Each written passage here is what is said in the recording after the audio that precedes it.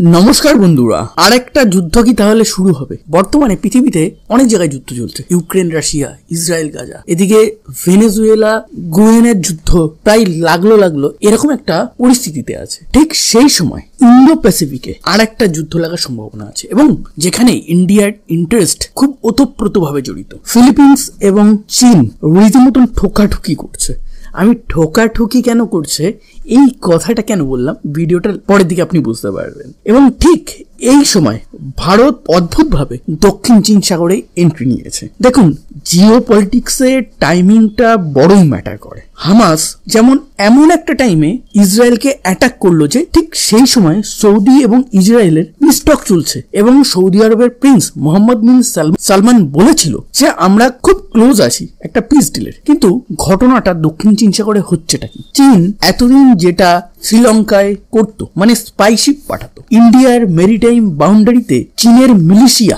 Navy কে পাঠিয়ে আর একটা front খোলার চেষ্টা করত। এবার চীনের দৌড়গোড়ায় ভারত পৌঁছে গিয়ে সেই সেম কাজটা করছে। চীন অনেকদিন ধরেই ফিলিপিনকে ডিমান্ড করছে যে সাউথ চাইনা সিতে তার একটা যে গ্রাউন্ডেড জাহাজ আছে সেই জাহাজটাকে সরিয়ে নিতে। সেই জাহাজটার নাম হচ্ছে বিআরপি সিরিয়া মাদ্রে। অ্যাকচুয়ালি এই জাহাজের গল্পটা অনেক পুরনো। অ্যাকচুয়ালি দ্বিতীয় বিশ্বযুদ্ধে এই জাহাজটাকে ইউজ করেছিল আমেরিকা। এরপর আমেরিকা এই জাহাজটা ফিলিপিন্সকে গিফট করে দেয়। ফিলিপিন্স বেশ কয়েক বছর এটাকে ইউজ করে এবং উনিশশো আশি নব্বই নাগাদ এটাকে অ্যাবান্ডেন্ট করে দেয়। কিন্তু যখন অ্যাবান্ডেন্ট করে ভাঙাচোরা অবস্থায় হয়ে গেছে, তখন এই জাহাজটাকে ফিলিপিন্স পুরোপুরি নষ্ট না করে এটাকে সাউথ চাইনা সিতে নোঙ্গর করে দেয়। মানে ওখানে একটা ভাঙাচোরা অবস্থায় পড়ে আছে। এবং এই সেই সাউথ চাইনা সি যেটাকে চীন নিজের বাপদাদাদের জায়গা মনে করে। এই জাহাজ কিন্তু ফিলিপিন্সের সমুদ্র সীমার মধ্যেই আছে। আমি আগের দিনই বলেছিলাম যে কোনো একটা দেশের ল্যান্ড বাউন্ডারি থেকে দুশো নটিক্যাল মাইল বা তিনশো সত্তর কিলোমিটার, এটা হচ্ছে তার স্পেশাল ইকোনমিক জোন থাকে। এর মধ্যে সে যা খুশি করতে পারে। তো ঠিক সেইভাবে ফিলিপিন্সই কিন্তু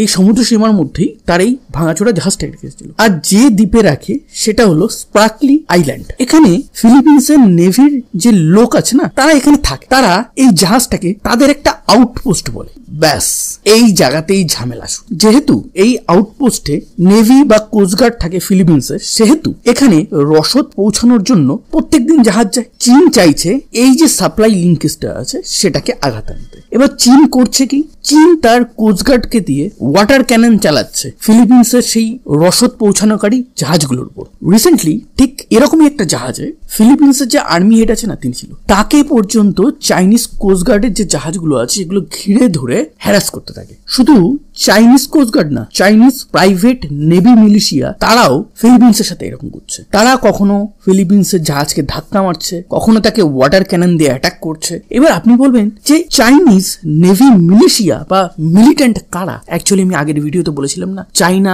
তার ফিশিং বোর্ড দিয়ে সারা পৃথিবীতে সন্ত্রাস মাখিয়ে রাখে। কোথাও ইকোলজি ধ্বংস করে, তো কোথাও কারোর বাউন্ডারির সীমানা লঙ্ঘন করে। তো এইটা সেইভাবে প্রমাণিত। এটাকে সিক্রেট উইপন হিসেবে ইউজ করছে। এবার এখানে কেন ইউজ করছে? দেখুন ফিলিপিন্সের সাথে আমেরিকার নাইনটিন ফিফটি ওয়ানে একটা ডিফেন্স প্যাক্ট আছে, যে ফিলিপিন্সকে আঘাত করা মানে আমেরিকাকে আঘাত তো এই কারণে চাইনার কোস্টগার্ড তো মাঝে মাঝে ডিস্টার্ব করছে তার সাথে বেশি করছে এই চাইনিজ যে ফিশার বোর্ডগুলো আছে, এগুলো করছে। যদি কখনো ফিলিপিন্স এদেরকে ধরে বা আমেরিকা যদি এদেরকে আটক করে, তখন চাইনা বলবে যে না এই ফিশিং বোর্ডগুলো তো ইলিগাল এর উপর আমার তো কোনো দায়িত্ব নেই। তো এই কারণে চীন হাত খাড়া করে দেবে। আবার চীন ফিলিপিন্সকে বর্তমানে ধমকি দিচ্ছে। চীন বলছে যে ডোন্ট প্রভোকাস আমাদের প্রভোক করো না। ফিলিপিন্স এর মধ্যে অনেক কিছু ডিসিশন নেওয়ার প্ল্যান করছে। ফিলিপিন্সের যে চাইনিজ অ্যাম্বাসেডার আছে না, তাকে ফিলিপিন্স হয়তো এক্সপেল করে দিতে পারে। এই জিনিসটা দিয়ে আরও বেশি বাড়াবাড়ি হতে পারে। তো ডিপ্লোম্যাটিক টাসেল কিন্তু একটা চলছে এবং এই ডিপ্লোম্যাটিক টাসেল থেকেই কিন্তু অনেক সময় যুদ্ধ শুরু হয়ে যেতে পারে। ঠিক এই সময় যখন ফিলিপিন্স এবং চীনের টানাটানি চলছে, সেই সময় ইন্ডিয়ার গ্র্যান্ড